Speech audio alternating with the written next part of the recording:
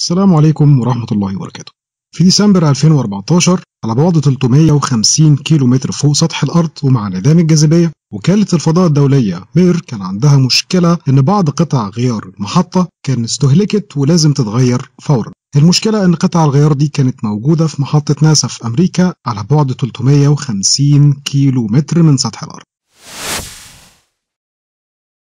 رحلات الفضاء للمحطة الدولية بتتكلف ملايين الدولارات ووقت طويل جدا واختبارات كتير قبل أي رحلة بتطلع للفضاء. في ديسمبر 2014 في رحلة من رحلات الفضاء التابعة لوكالة ناسا رواد الفضاء اتفاجئوا بعطل في المحطة وكانت في قطع غيار مهمة للمركبة لازم تتغير. في نفس الوقت كانت وكالة ناسا بتقدر تكلفة توصيل قطع الغيار للمحطة الدولية لقيتها بملايين الدولارات. في نفس الوقت كان الشعب الأمريكي بيطالب مجلس الشيوخ بتخفيض ميزانية ناسا اللي بيتم دفع أغلبها من ضرائب الشعب الأمريكي. تم طرح فكرة طباعة المجسمات زي طباعة الورق أو بمعنى أصح ال 3D printing. هنرجع بالزمن شوية لعام 1980 في اليابان لما كان دكتور كاداما بيسجل براءة اختراع لماكينة اسمها تكنولوجيات النماذج الأولية السريعة لإنشاء النماذج أولية لتطوير المنتجات داخل الصناعة. أو بمعنى أصح 3D printing أو طباعة ثلاثية الأبعاد. للأسف دكتور كوداما ما كملش براءة الاختراع بسبب إن كان في بعض الأوراق ناقصة. بس أول حد يعتبر اخترع الطباعة المجسمة هو تشارلز تشاك اللي اخترع جهاز SL الخاص بيه لأول مرة في عام 1983 الطباعة المجسمة أو 3D printing أو الطباعة ثلاثية الأبعاد هي ببساطة شديدة إن إحنا نقدر نطبع مجسمات أو أجهزة ممكن تبقى جاهزة للاستخدام بمجرد ما نطبعها بالظبط زي ما بنطبع الحبر على الورق. تاريخ الطباعة المجسمة عدى بمراحل كتير هنتكلم عليها في حلقات منفصلة لكن دلوقتي هنرجع لنوفمبر 2014 لما تم اختبار فكرة الطباعة ثلاثية الأبعاد في محطة ناسا. وتم اختبار الفكرة ولكن كان السؤال هل مع انعدام الجاذبية وانخفاض الحرارة في المحطة الدولية هل هينفع طباعة المجسمات زي الأرض بالظبط؟ بالفعل في ديسمبر 2014 كان في جدول لرحلة لمحطة الفضاء الدولية وأخدوا معاهم 3D printer بدأت الاختبارات علشان تتم طباعة المجسمات على الأرض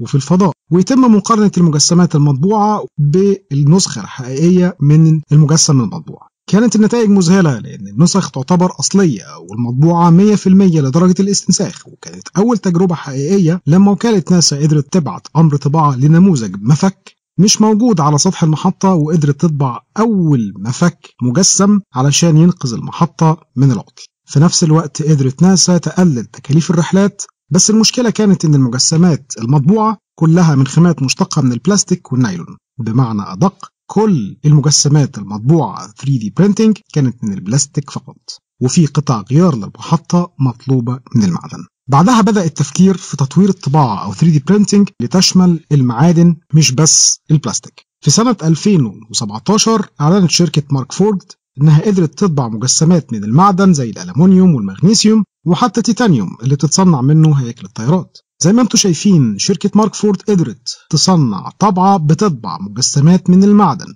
ما بقيناش محتاجين لمصانع كاملة علشان نصنع جسم أو مجسم معدني. ممكن يتعمل في البيت فالحقيقة ده إنجاز علمي كبير. ما انتهتش تطورات الطباعة المجسمة وفوجئنا في نفس السنة بتطور رهيب جدا وهي طباعة الأسمنت أو الطباعة الخرسانية. لو سرحت وسألت نفسك سؤال طباعة خرسانية يعني هطبع بيت مثلا أحب أجاوبك وأقول لك أيوة ده حصل بالفعل. شركات كتير في هولندا والصين وأمريكا ودبي بدأت تستخدم ال technology دي بالفعل. في طباعة البيوت وأول بيت اتطبع بالخرسانة المجسمة كان على شكل castle أو قلعة في الفلبين. كل مكونات المبنى مطبوعة وزي ما أنتم شايفين مفيش أي بناء يدوي. كله تم بماكينة الطباعة والتدخل اليدوي الوحيد كان إن هم يركبوا الأجزاء اللي اتطبعت أو اتصبت بالخرسانة بواسطة مكنة الطباعة أو 3D printing للخرسانة. لو لسه مش مقتنع إن فعلا في فايدة التكنولوجيا دي أحب أقول لكم إن في شركات زي BMW أعلنت إنها تبدأ تصنيع قطع الغيار الخاصة ببعض الموديلات عن طريق 3D printing. شركة زي HRE 3D بدأت تنتج جنوط عربيات من التيتانيوم مطبوعة بالكامل ب 3D printing. في شركات نقلت موضوع ال 3D printing أو الطباعه ثلاثية الأبعاد نقلة تانية خالص لما شركة زي Divergent Microfactories أعلنت عن طباعة أول عربية كاملة من تيتانيوم مطبوعة بالكامل ب 3D printing. العربيه بتوصل سرعتها ل 321 كيلو في الساعة بقوة 720 حصان. الموضوع هينقلنا نقلة تانية خالص. العربية دي تكلفتها أقل بكتير من تكلفة العربية اللي بتتصنع في مصانع السيارات.